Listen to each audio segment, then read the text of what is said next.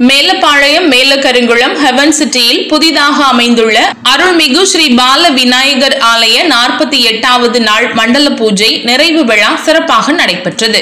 காலை மங்கள வாத்தியங்கள் முழங்க கணபதி ஹோமம் நவக்கிரக ஹோமம் சுதர்சன ஹோமம் லட்சுமி ஹோமம் லட்சுமி குபேர பூஜை மற்றும் யாகசாலை பூஜைகள் மிகவும் சிறப்பாக நடைபெற்றது.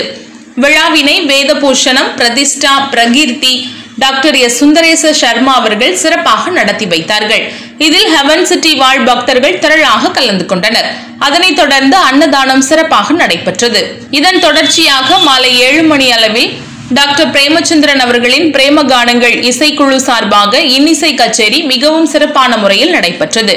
இந்த நிகழ்ச்சியில் டாக்டர் பிரேமச்சந்திரன் அவர்களை கௌரவிக்கும் வகையில் திருப்பணி குழுவினர் சார்பாக அவர்களுக்கு நினைவு பரிசு வழங்கப்பட்டது.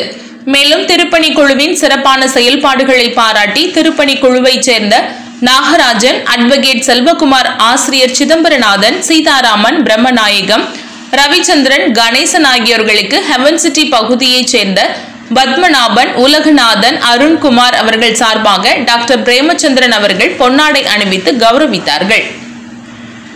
மேலும் சிறப்பான முறையில் ஒலி ஒளி அமைத்துக் கொடுத்த ராஜன் சவுண்ட் சர்வீஸ் உரிமையாளர் சவுந்தரராஜன் அவர்களுக்கும் விழா குழுவின் சார்பாக பொன்னாடை போர்த்தி கௌரவிக்கப்பட்டது.